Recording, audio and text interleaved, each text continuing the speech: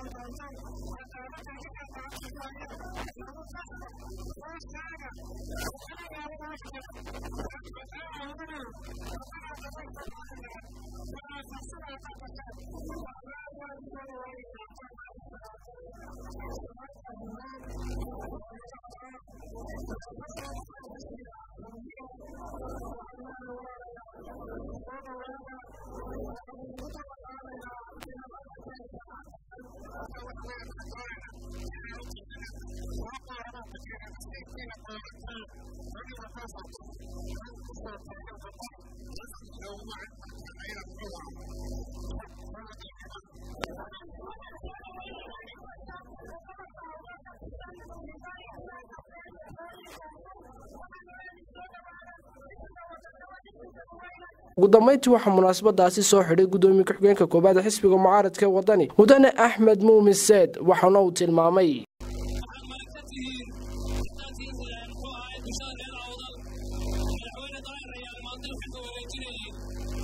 التي قد قربت وياتي هذا حالة ورفيقة عندها في حد لها اعتقاد يعني قد كان شيئا ما تورط لها وحسب المصحف فيه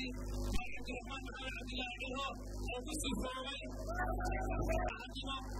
ونادي انه سهل وعن ملكته